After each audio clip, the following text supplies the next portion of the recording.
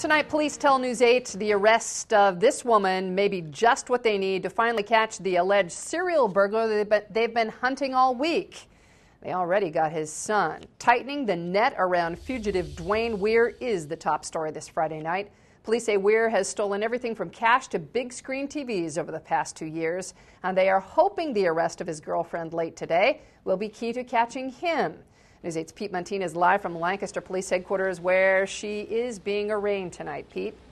Yeah, Janelle, we have a little new information on that. Weir's girlfriend was just arraigned by District Judge Mary Spanagle. 20-year-old Violet Martin was arrested by U.S. Marshals earlier today at the Village of Rivermore apartment complex in East Donegal Township, Lancaster County.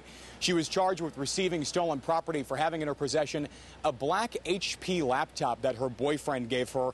Police say that now they have that they have his girlfriend and his son. That Dwayne Weir is next. Almost like a chess game. And investigators think they have made a crucial move to catch Dwayne Weir. Police say Violet Martin has been a person of interest since her boyfriend went on the lam Monday. Dwayne has a network of friends out there that are willing to step up to the plate for him to help him out. So, and that adds to the adds to the challenge. Martin was interviewed when her boyfriend initially escaped police as they tried to serve him a warrant, but did not provide much information. Mr. Weir is, is an abstract thinker, and uh, he will go back to what he's comfortable with, and that's what the avenues that we have to pursue and try to keep one step ahead of him on that. One investigator told News 8 Martin's behavior was less than honest from the start, as if she was trying to hide her boyfriend.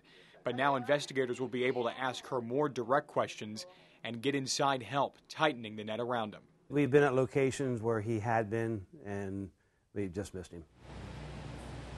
One officer from Susquehanna Regional Police tell me they were inundated with tip calls about Dwayne Weir's whereabouts tonight. They also said that strong information sharing between the six departments looking for him may lead to his arrest very soon. Janelle? All right. Thank you, Pete Montine, live tonight in Lancaster.